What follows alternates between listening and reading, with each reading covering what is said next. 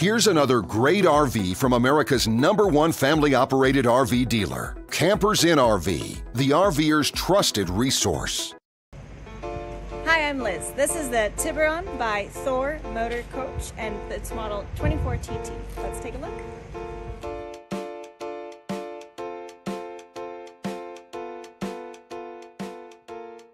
This walkthrough video is designed to quickly show you the basic layout and features of this RV.